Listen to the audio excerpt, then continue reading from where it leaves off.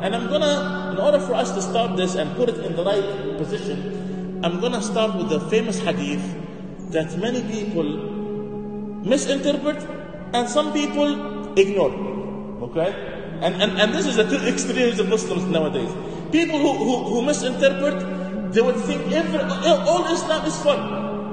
Okay? These people, the one, one side of the story. And the other extreme within Islam, people people who, who ignore all the time and say, you know, Islam, you have to be serious, you have to be tough, you have to be.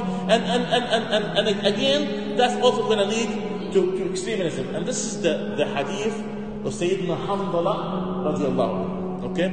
So what Hamdallah used to say, he said, كنا عند رسول الله صلى الله عليه وسلم فوعظنا وعظة رقت لها القلوب وذرفت منها العيون وعرفنا انفسنا فرجعنا إلى اهلنا. And that one time Prophet Muhammad sallallahu alaihi wasallam gave us such a strong reminder to the point that our hearts shivered and our eyes started to clear, to, to, to try to tear, and we were so moved by this reminder to the point that we went sad.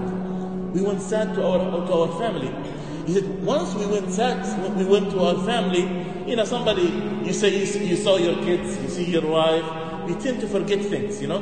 So Hamdallah, what he did, he said, Subhanallah, a minute ago I was with Prophet Muhammad sallallahu alayhi wa sallam, and my heart, my, our iman was high, and etc. And nowadays we're having fun with our wives and our kids, and we have lost, lost the seriousness. How come? He said, نافق Hamdallah. Hamdallah have indeed committed hypocrisy. So he went back to Prophet Muhammad and as he was going to back to Prophet Muhammad what he saw, he saw Abu Bakr Siddiq radiallahu anhu. He said, Abu Bakr, oh, he said, what is wrong with you, Hanzala? He said, look, look at, look at, oh, look at this, Abu Bakr. We, when we are beside the Prophet Muhammad sallallahu our, our hearts can fly because of how much, how much high faith that we have. And when we go to our, our families, you know, we, we lose this faith. What, what happened? You know, I indeed have committed hypocrisy. So what did Abu Bakr Siddiq listen to him and he said the same thing. He said, Nafaqa Abu Bakr, you know, even Abu Bakr have done so. So Prophet Muhammad sallallahu alaihi they went to ask Prophet Muhammad how could we address this? So Prophet Muhammad he gave them, and again, Prophet Muhammad Allah subhanahu wa ta'ala gave him jawami' al-kalim, that he his, his, his words used to be so concise.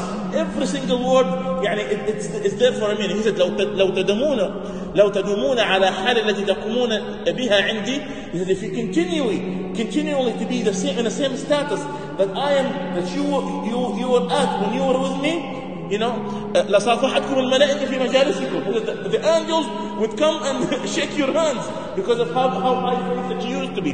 وفي طرقكم وعلى فرشكم. And, and the angel would, would, would, would, would shake your hand while you were with me in your way out and even when you go back home. But what happened? ساعة وساعة. An hour and an hour. an hour of, of, of you observing, reading Quran, an hour of trying to pray, an hour of giving, you know, you know, uh, trying to uh, trying to show people the right way, but also an hour for yourself. Okay? So now, how the people who ignore this hadith, they, at the end of the day, they're gonna lose their gas.